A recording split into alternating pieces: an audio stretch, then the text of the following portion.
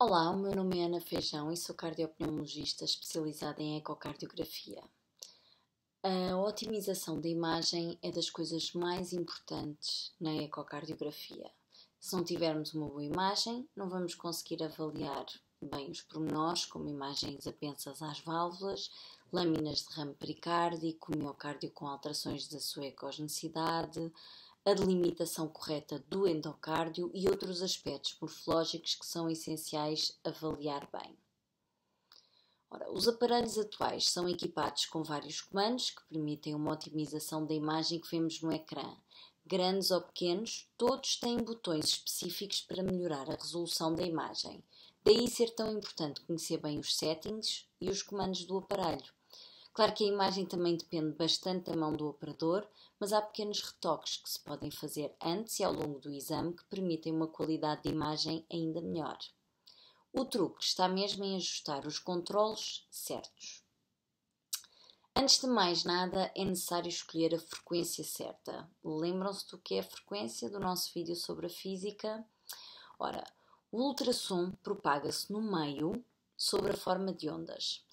A frequência é a quantidade de compressões e rarefrações dos ultrassons por segundo.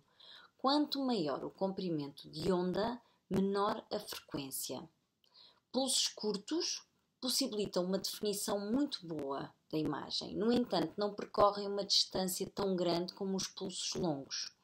A frequência determina a penetração dos ultrassons e a resolução da imagem, ou seja, uma maior frequência tem uma boa resolução axial, mas menor profundidade, e uma menor frequência tem pior resolução, mas maior profundidade. Então, se uma menor frequência tem pior resolução, qual é a lógica de a termos como opção? Então, frequências mais baixas são utilizadas em pessoas obesas, por exemplo. O ecocardiograma pediátrico, por exemplo, é realizado com frequência de 5 MHz.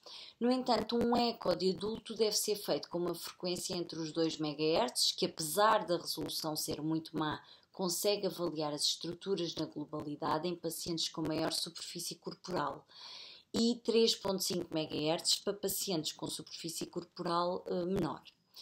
Transdutores mais modernos permitem alterar com um comando a frequência dentro de um dado intervalo. Um, os mais antigos, às vezes tínhamos que mudar de sonda. O exame deve começar sempre com uma frequência alta e depois ajustar para frequências mais baixas se for necessária maior penetração dos ultrassons.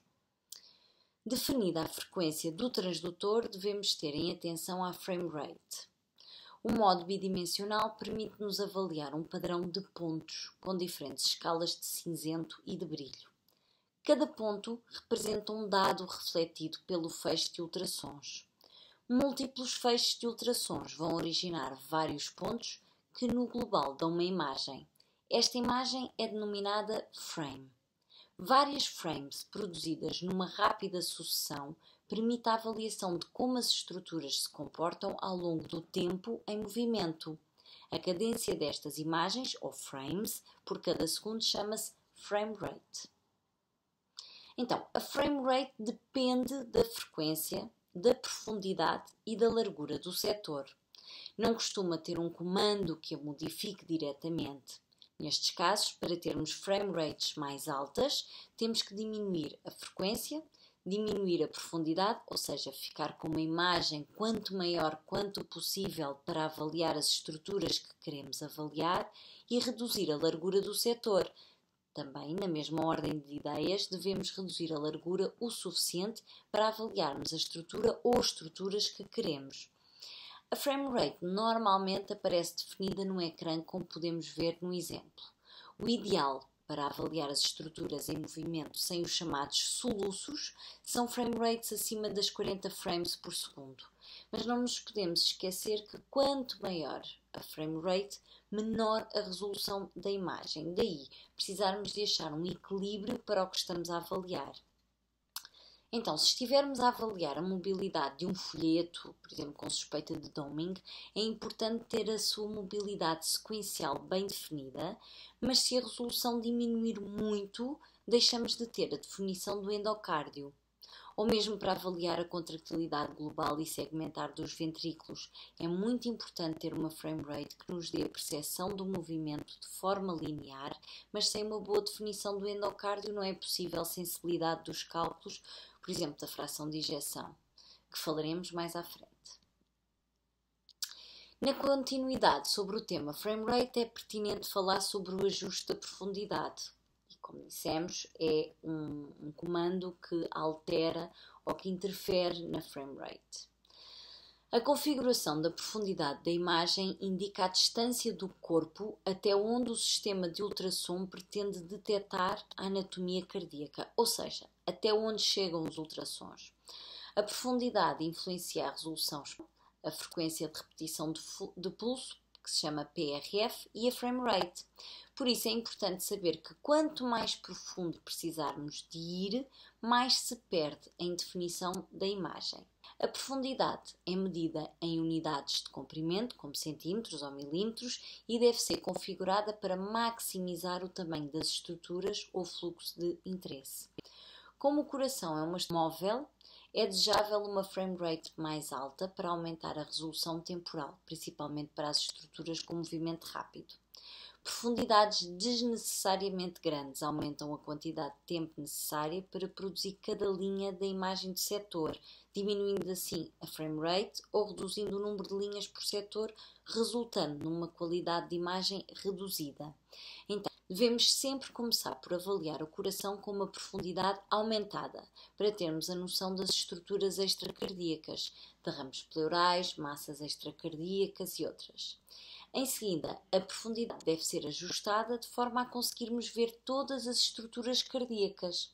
Como podemos ver nas imagens, a da esquerda tem uma profundidade reduzida e conseguimos ter a noção de toda a morfologia cardíaca, mas só na imagem da direita, com profundidade aumentada, é que conseguimos perceber a definição da região aqui anacogénica que representa um derrame pleural. Então, o quarto passo a alterar ou a trabalhar uh, são os ganhos, os ganhos gerais, de forma a obter uma melhor qualidade de imagem. O comando dos ganhos gerais compensa a atenuação que os ultrassons sofrem ao passar pelos tecidos e pelos vários obstáculos. Quando aumentamos os ganhos gerais, estamos a aumentar o sinal recebido dos ultrassons refletidos, tornando a imagem mais brilhante. Se aumentarmos os ganhos demais, como na imagem da esquerda, uh, faz com que haja muitos artefactos na imagem. A imagem fica suja. Um, e isto pode levar ao mau diagnóstico de espessamentos ou calcificações valvulares ou mesmo de autocontraste no interior da cavidade, que é este, este fumo branco que podemos ver aqui no meio do, do, da cavidade. Ora, o autocontraste é frequente em casos de estase sanguínea, ou seja, eh, situações em que não há um fluxo sanguíneo uh, energético, e, e, e está ligado a alterações da contractilidade segmentar ou alterações do próprio sangue.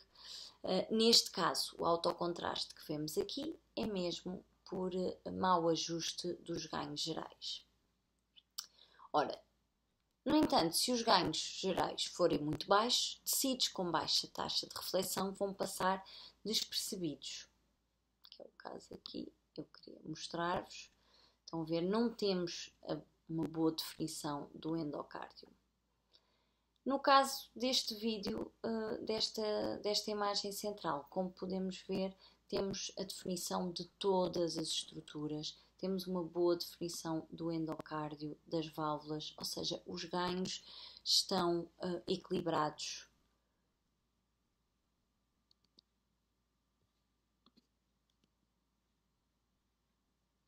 As imagens todas em movimento. Ora, é também possível ajustar os ganhos em várias profundidades através do ajuste da rampa de ganhos ou comando TGC, que significa Time Compensation Gain ou em português amplificação do sinal em função da profundidade. Este controle permite compensar a perda de energia que o ultrassom sofre por atenuação. Como podemos ver, a imagem da esquerda apresenta um equilíbrio dos ganhos, sendo que para tal a rampa de ganhos estava na posição apresentada aqui. com esta, com esta inclinação. Nos outros exemplos, podemos ver os vários níveis da rampa de ganhos em desequilíbrio, ou seja, no filme de cima a rampa de ganhos estava ativa apenas em cima, no filme do meio inativámos os comandos da rampa de ganhos em cima e em baixo, estando ativos apenas os do meio da imagem, e em baixo estavam ativos apenas os comandos de baixo. E como podem ver, perdemos total noção do, das estruturas cardíacas na zona mais proximal e aqui o contrário, por uh, a noção das, das zonas cardíacas mais distais.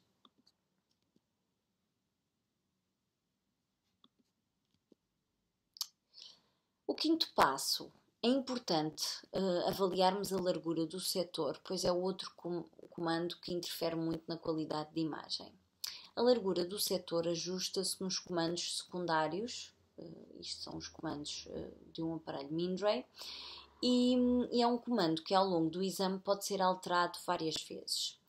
Quando desnecessariamente aumentada, a largura do setor diminui a frame rate e reduz o número de linhas por setor, resultando numa qualidade de imagem reduzida.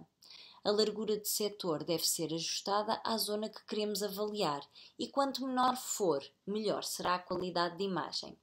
Na imagem da esquerda, a largura do setor está reduzida. Seria funcional se fosse para avaliar apenas as cavidades esquerdas, que são as cavidades presentes na imagem. Mas no caso de querermos avaliar as quatro cavidades, devemos aumentar a largura, como podemos ver na imagem do centro. A imagem da direita dá-nos o exemplo da escolha de uma largura de setor máxima, justificada pelo facto das cavidades direitas estarem dilatadas. Então, para serem avaliadas, é necessário aumentar ao máximo a largura do setor. E mesmo assim, ainda perdemos aqui a definição apical ao nível do ventrículo esquerdo.